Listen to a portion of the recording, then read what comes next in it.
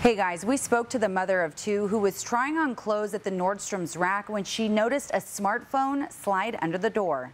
I noticed it within seconds, like as he was trying to slide it under. Kara Beecroft caught literally with her pants down inside the store at Santan Valley. Kara screaming inside the dressing room. As soon as I did that, he grabbed his phone out from under and booked out of there as quickly as he could and ran through the store um, and then exited the store. Feeling shocked and violated, she noted the co-ed fitting room and immediately filed a report with store security. It had me thinking because afterwards, you know, I, I took down a report, um, spoke to the manager, and she advised me that um, since she's been a manager there, that there's never been an incident like this.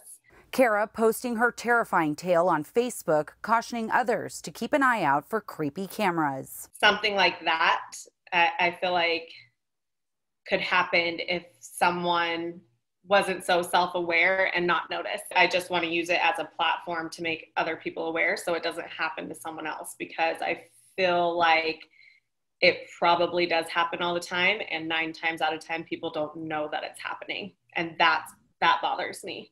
We did reach out to the retail chain for a response on the incident, but at this hour, we've only received an automated reply. As for Kara, she's still waiting for surveillance images of the suspect. Rachel Cole, 12 News.